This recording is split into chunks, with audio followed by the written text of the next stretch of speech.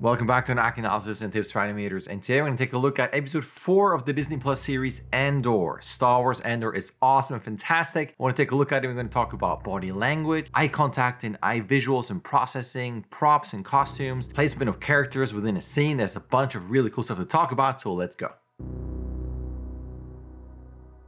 And if you're new to this channel, hi, my name is JD and I do acting analysis tips like these. I do animation analysis tips, I do animation lectures, I do reviews, a bunch of stuff. And for these acting analysis tips, it's basically, I'm looking at scenes from movies and TV shows and other things where I talk about the ideas behind, or at least my interpretation of those ideas behind the scenes and how you could use that in your shot. So it's not copying this one-to-one, but it's taking the idea and the situation of those shots and what the actors do and their handling of props and all that stuff and how you could take that and maybe as a springboard of ideas and use that in your own shots. And what am I talking about? So let's go straight into the first sequence. I picked this one just because actually with the assignments that my academy students have for pantomime and also lip sync, it's this moment here. And I'm talking about if you have two characters, right? And you can have multiple characters.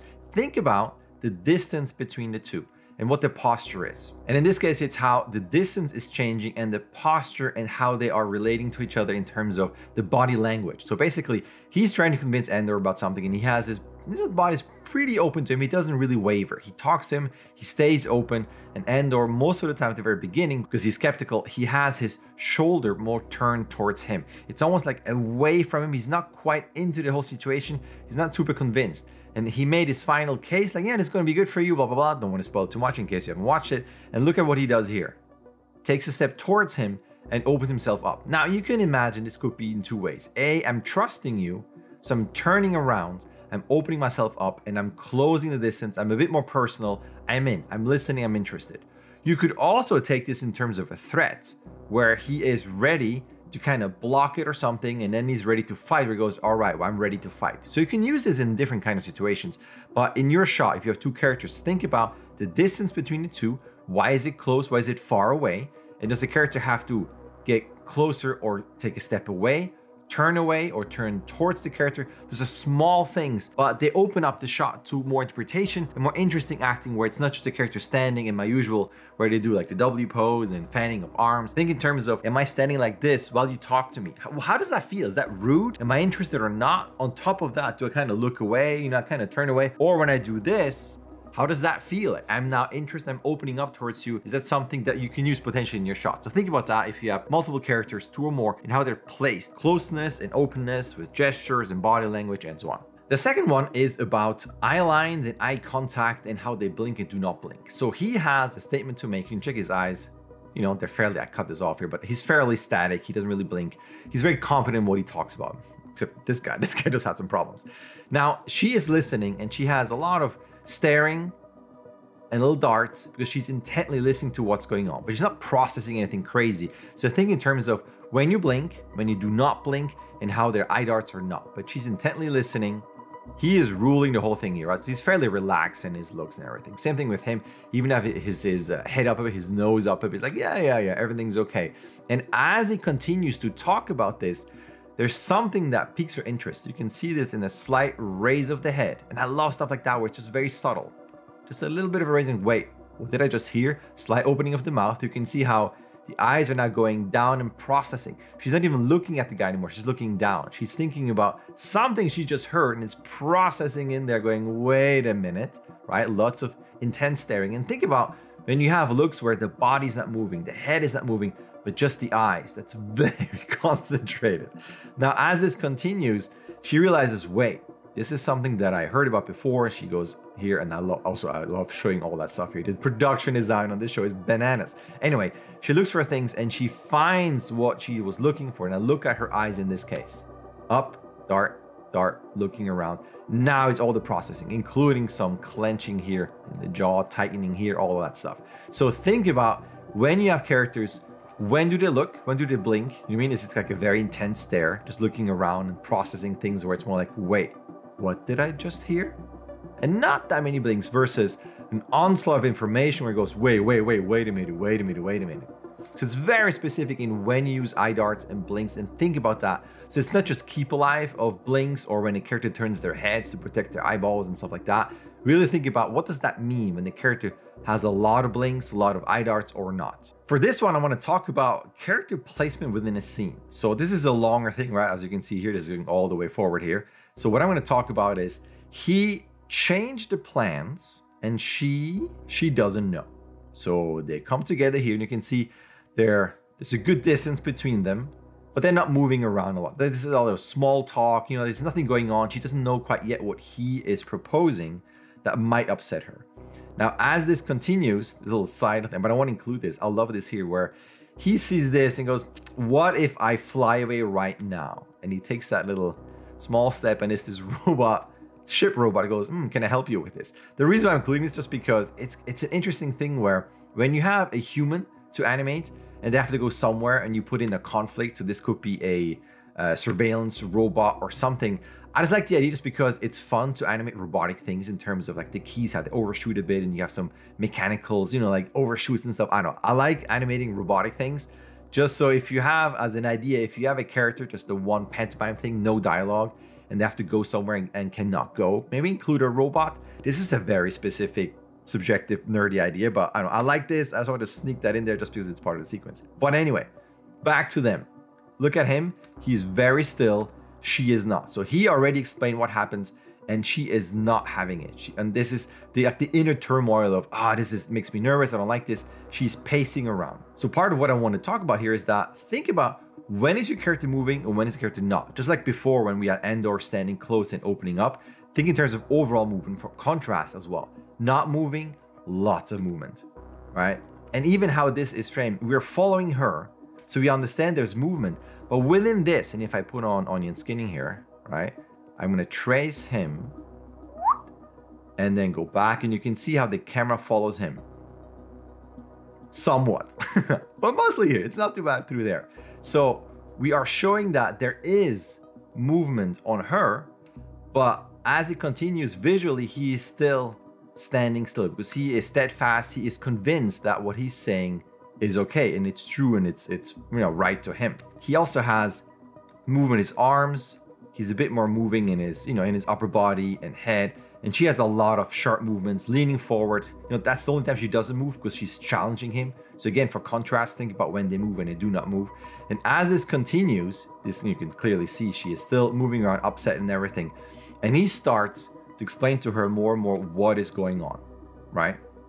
And I love this here because you can see that little tilt, that little puppy tilt. He's trying to convince her he's looser in the body language. And as he continues to talk to her, he goes, ah, she's challenging him. She's not really listening or being that convinced. I love this moment here. He continues, he's much looser, right, in his body language. And she is kind of like, ah, whatever, poking around with this. I'm not really listening. And that messes him up here right there. He goes, stop, you know, look at me. Like he gets really upset.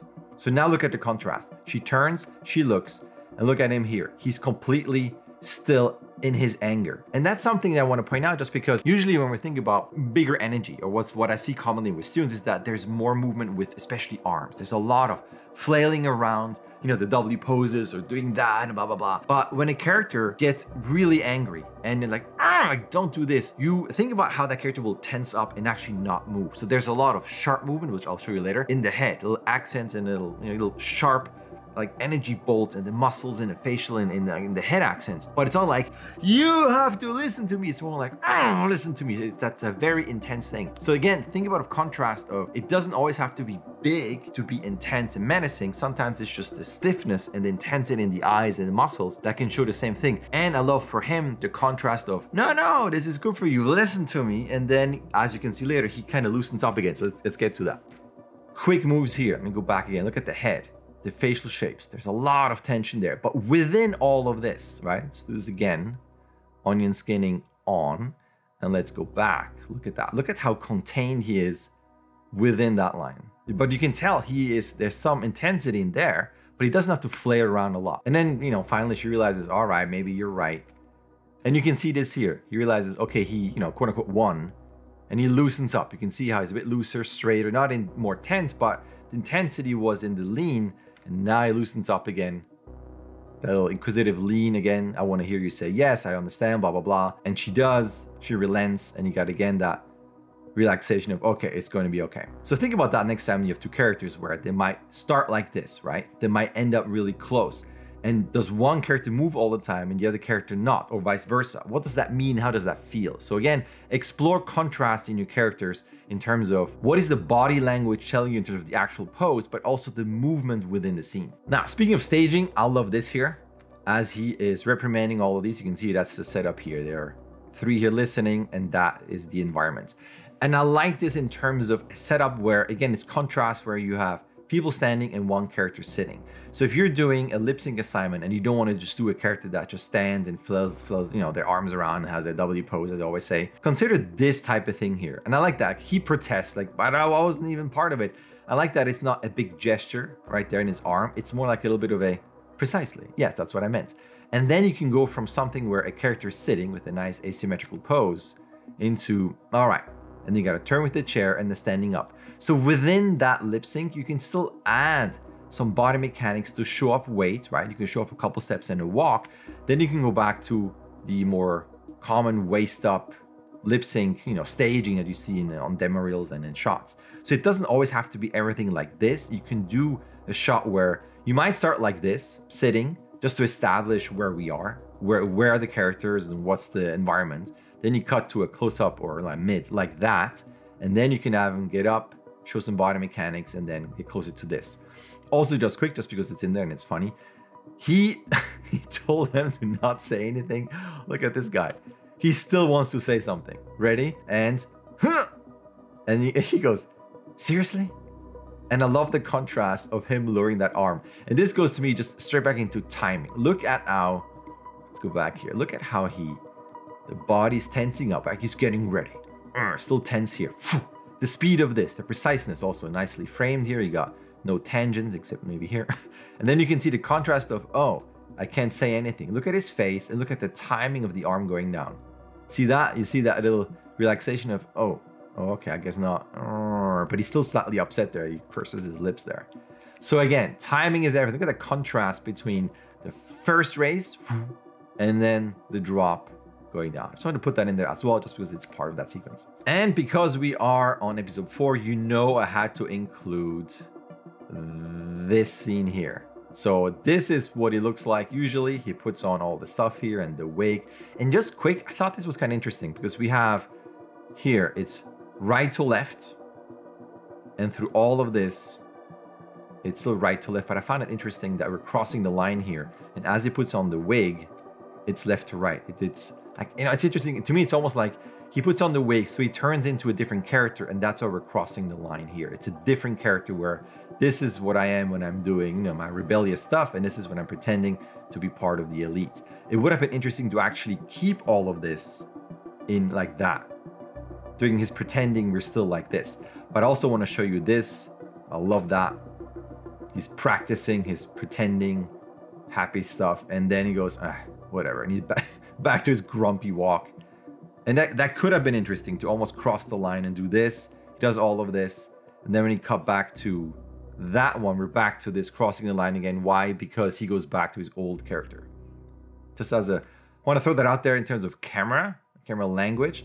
But this is a classic thing and I love this. And this gives you as an animator such an opportunity to go from one character, right? And clearly pretending and overacting on purpose to then go into that, but showing that transition between this, not just facially and posture and arms, but then also back into like a hunched over walk and just, you know, the weight of the his decisions on him. I, know, I thought it was really cool classic scene in this episode. We wanted to show that. So as you go with her, she is spoiler, also pretending, you know, and what I like here is, you know, if you watch myself, I like props and costumes. I like this after all of this, the tension of pretending and talking to him. Look at what she does. And this is tricky, I know with rigs you don't always have controls for all of this, but it's like that aspect of, this was tense, I need some air. And you can see her even at the end, she does a bit of a but this could be used again as a subtle thing when you have a costume thing, you know, whatever controls you have, could be something on sleeves, could be on the collar here, maybe you have a hat or something. How could you use that to show something where the character needs room, they need space, they need air, they need to breathe. It was tense, they need to relax. All that stuff could be used with a, a subtle tweak with the costume, right? It doesn't have to be crazy. It could be something adjusting with an opening, maybe a belt or adjusting or whatever you have. So if you do have a rig that has controls in terms of costumes, think of that in terms of how could I use that to show something more in terms of character? Or maybe it's from open to close because they're getting into a specific situation where they need to be a bit more proper and so on. Speaking of which, also want to show you this here as she gets home. And this is something that you can use generally, right? So we got, she doesn't really trust this person. Within, you know, episode four, we kind of know that they can't really be trusted. She is uh, skeptical of the people around them. So as she puts things back, watch her head here. She waits. I love that it'll look back just in case no one can see me. But what I want to talk about is this. Like she is, she gives herself some time. She has to adjust things. She's checking because she knows she has to go into an environment that she does not like. So it's that, okay, let's go. And she goes in and talks to her husband, and, and, there's a lot of conflict between the two. So this is a, a general note that I like in terms of an animation exercise where your character is, and I think I had that in a, in a previous uh, example, where the character is ready to go on stage. So for you, in terms of pantomime, it doesn't have to be with lip sync, but pantomime wise, you can show someone who can come in, they have maybe their papers ready for the speech and they're nervous, they're doing something or like, you know, biting their nails or something. And then they go, and then gonna walk out onto the stage and, and do their thing. And I like that as a, a gear change because it's, it's often a, an exercise for students to show emotional changes visually, body language, facially, to show an emotional change, we call a gear change. And I like that idea of a character that has to go out somewhere. They don't want to go there, but they have to do it. Or it could be the opposite where they are they are very confident, like, yeah, I can do this. And the moment the door opens and the character sees the amount of people on the stage, they go, mm, maybe I should be more nervous about this. And that's the change. It doesn't have to be, you know, nervous to confident, it could be the opposite. I like that as a setup. And I, think that could be a cool, it's kind of cool usage for you in terms of using the sets as an environment that will trigger the character into a different stage of, of a thought process or headspace, if that makes sense. So, because I'm generally not a fan of putting a character into an empty room. Unless it's like body mechanics in practice, there's always a place for it. But if you're going for a shot for your reel, if you work especially in movies and TV shows, the character is always going to be somewhere in an environment, in a room, outside, whatever. So use that to your advantage, right? You can use that in terms of the props, a wall, a stage to go in and out. Outside, there's wind, there's cold, there's uneven terrain where they have to kind of step over things. All that stuff to me is an extra opportunity to change your thought process and the acting and to make things more original. So it's not something that someone, you know, that you've seen online before that a recruiter might go like, ah, this is a general thing. This is nothing new. So take your character, think in terms of who they are, what's their personality, what are they facing in terms of conflict or situations? And then use, like I said before, the rig. What is something on the rig you can use to make it more interesting? Maybe they have straps on or something and the whole thing is kind of delivered like this. And they might just hold on to that and then do the acting more like this. So you have that asymmetry in your body. You can still do one arm gesture, but it's not the, the normal, I'm standing here flat to camera doing my thing. So think in terms of can I use the costume, can I use the set? Or whatever there is to give a, a more original performance. That's also where the character is aware of the environment. This is a whole other FNA that I, I think I did or I should do again, where characters are not magically aware of everything. And I feel like the slight criticism of what I'm seeing online is that in movies and TV shows where the characters go somewhere and they magically know everything. They know where they are, where things are, and how they're supposed to walk in a different environment, blah, blah, blah, blah. There's never really the sense of a character being somewhere for the first time or not, and how that is going to change the approach to the acting. But that's a whole different thing when I talk about it, probably in a different uh, separate uh, FNA. It's a long rant that I always have.